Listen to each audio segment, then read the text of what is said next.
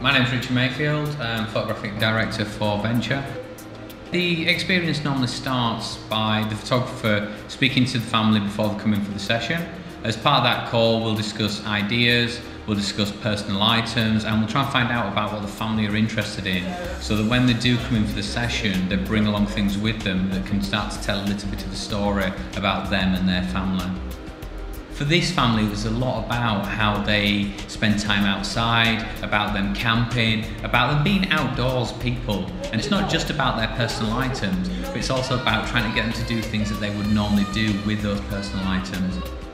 The session itself is such a fun experience, and even though most people will turn up in reception saying, I hate having my pictures taken, one of the really nice things is most people, when they're walking out the door at the end of the session, they'll turn around and say it's been an absolutely fantastic experience as a family. Look at that. what are you doing to mum? What are you doing to dad?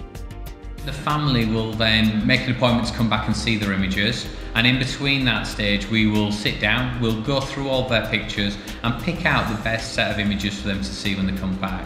By seeing them nice and large on the wall, it makes it very easy for them to see eyes and expressions, and then they can pick their favourite shots. Okay, guys, what did you think? Oh, it's amazing. I love them all. I just don't know how I'm going to choose.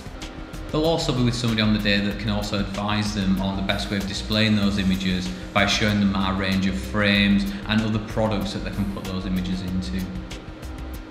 Once they've chosen all their favourite images, we will then pass that to one of our digital artists who will go through, digitally enhance those images ready to be printed. Those images are then sent to our own bespoke lab and then sent back to the studio.